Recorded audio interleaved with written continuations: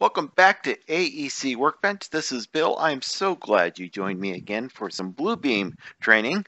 The If you missed the first one, it just talked about the user interface and what the different parts were. If you'd like to go see that, then jump right over and see that and come right back to this one so that you can learn how to compare and overlay drawings. Are two different commands. They do two different things, but they're very similar to each other. And in fact, you'll see the difference between the two and when you should use either one.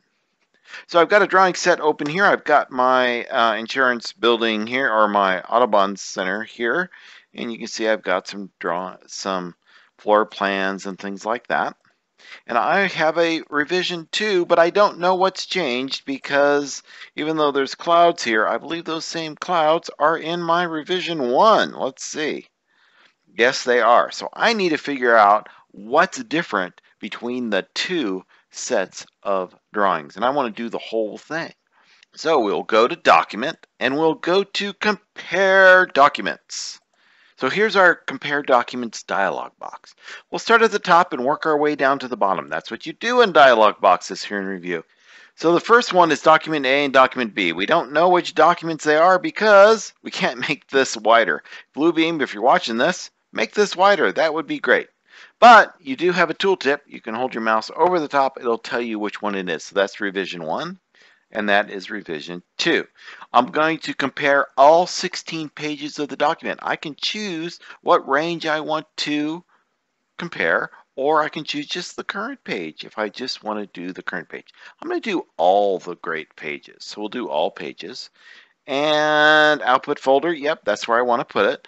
And uh, let's see, alignment. Alignment is good if the drawings aren't aligned. Duh, right?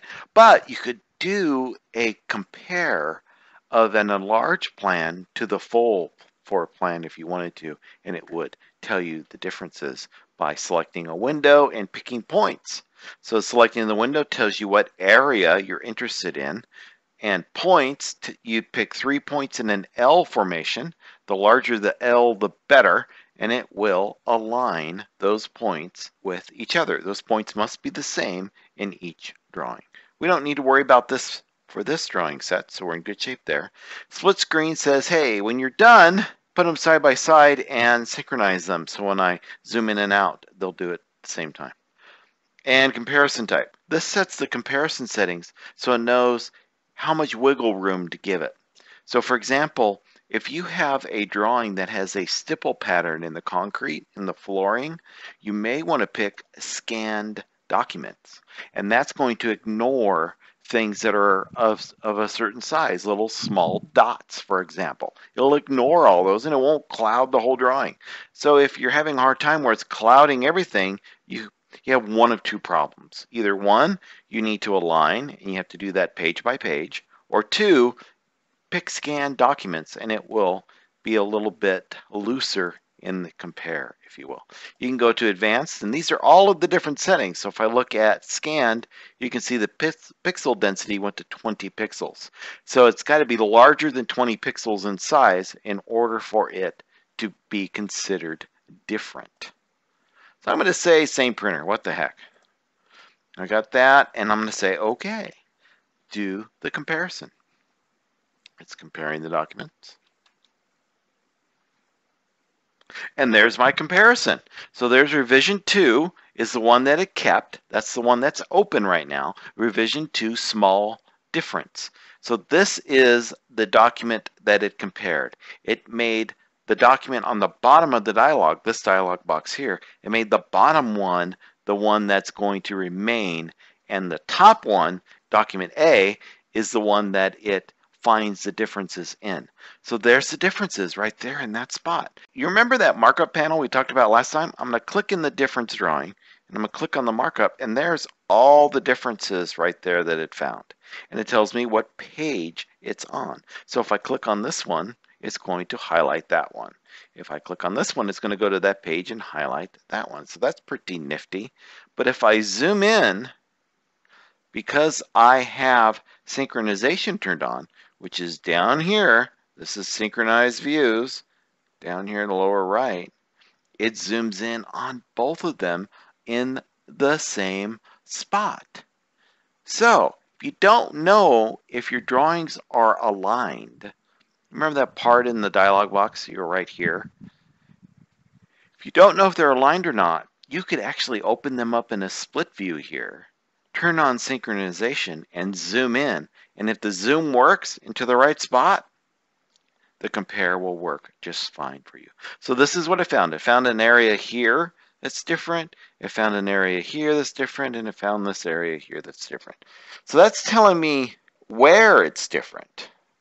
But I want to find what is different. So compare is for where. Overlay is for what. So let's do an overlay now. We'll get uh, small 2 up and small 1 back up. We'll do document and we'll do overlay pages this time. This time I don't want diff 2 open. I want I want number 1. But I got to find do I have to find the file and, and import it, add the file? No, you just click add open files and it adds that one there for me. Now this one I don't want anymore, so I'm to get rid of it. And I want number 1, eh, it doesn't matter. I just need to remember that number 2 is going to be red and number one is going to be blue and anything that's the same is going to be black. So if I want to modify this color or anything about it, I can do modify and this is what it's going to do. It's going to blend with the darken. That's how it does the black of the same. But I can pick color here and I can say, well, let's do Christmassy. Let's make it green for that one. I can select a region that I want to use, just darken this spot. That's the only spot I'm interested in, in overlaying. I want to do the whole drawing, so that's fine. So I'll pick OK. You can, you can overlay as many documents together as you want. But, oh, I just noticed pages 2 and 1 here. Is that right? I want to do all the pages. Ah, there we go. I'm glad I I saw that. All pages. Okay. So now I'm ready. I've got all the pages. How did I do that? I double clicked. That's how I found it. So you double click on there and pick all pages. And then, okay, go. Now it's going to overlay the pages. It's going to put each document on its own layer. So I can turn off and on different layers or I can see them all on top of each other. All right, there we go. There's the overlay right there. It says overlay. So I'm going to go ahead and close this revision one here. I got my overlay up. And so what do I want to do? Oh yeah, I want to look at the second page. And you can see I have some green and red here. This shows me what has changed. So that's pretty nifty. Look at that, it looks 3D-ish kind of thing if you without looking at it in 3D glasses. So those are what has changed between the two different ones. If I go to layers here, I can see the different layers. I have revision 1 and revision 2. I can turn off revision 1 and just see revision 2. Turn it back on or turn off revision 2 and just see revision 2 if I want to. So that's pretty cool. That tells me what has changed. But here's the here's the challenge that I had when I first started using this. I wanted to see both. I wanted to know what has changed and I want to know where it's changed.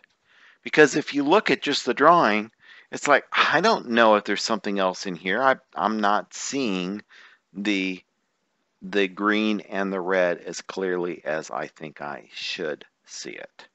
So here's what you do we're going to go to the difference file. We're going to open this markup list. We're going to go to markup list. We're going to go to markups and we're going to export the markups.